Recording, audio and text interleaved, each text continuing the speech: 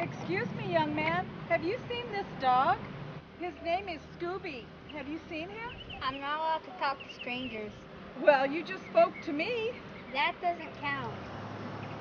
Well, are your mom and dad home? Because maybe they've